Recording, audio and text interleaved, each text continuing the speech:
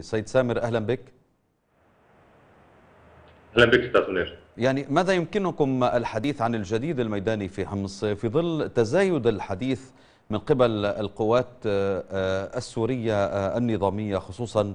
وسائل الإعلام المؤيدة للنظام بأن الجيش السوري يتقدم في حمص؟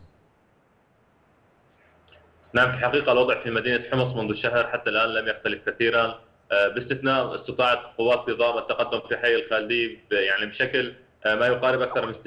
من حي الخالدي أصبحت بيد قوات النظام وغير ذلك القصف لم يتوقف على احياء حمص المحاصرة وخاصة حي الخالدي، القصف يعني لم يستثني أي سلاح بداية من الرصاص وانتهاء انتهاء بصواريخ أرض أرض وأيضا بالطيران الحربي، اليوم لم يختلف الحال كثيرا، القصف بدأ منذ الصباح الباكر استهدف احياء حمص المحاصرة بالمدفعية وقذائف الهاون وأيضا مشاركة للطيران الحربي، وامتدد القصف ليشمل حي الوعر والريف الشمالي بشكل عام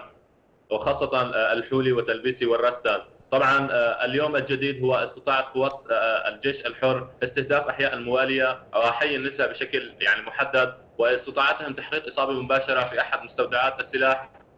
العائدة ملكيتها لشبيحة النظام وانفجار هائل جدا سمع دويه في حمص الشم... في حمص بشكل عام ورؤية تصاعد الدخان والانفجار حتى الريف الشمالي، طبعا الانفجارات هي هو انفجار رئيسي وسلسلة متتابعة من الانفجارات، مستودع كبير ممتلئ بعدد كبير من السلاح والذخيرة ومختلف أنواع القذائف بداية من سيد سامر أريد أن أستغل الحديث معك للاستفادة من من من من كلامك في الحقيقة. لأنه سليم إدريس يعني رئيس أركان في الجيش السوري الحر قال كثيرا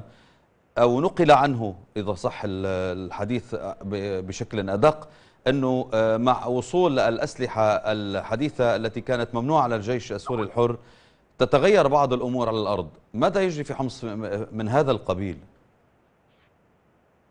حقيقة حتى اللحظة يعني التصريحات التي سمعناها على الإعلام أنه وصل سلاح إلى حمص ليس لها أي وقع على الأرض كل ما نسمعه من القادة الميدانيين هو أنه لا يوجد سلاح وخاصة سلاح نوعي.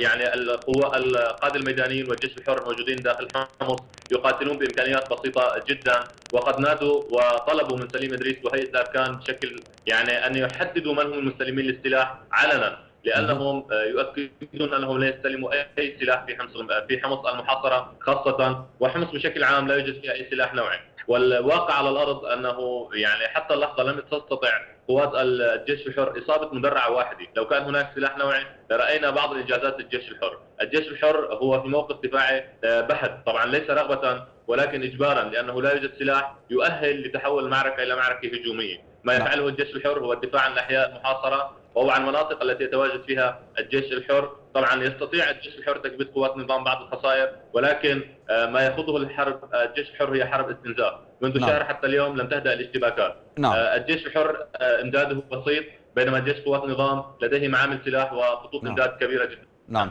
سامر الحمصي مراسل شبكة شام في حمص وريفها أشكرك جزيل الشكر على توضيحاتك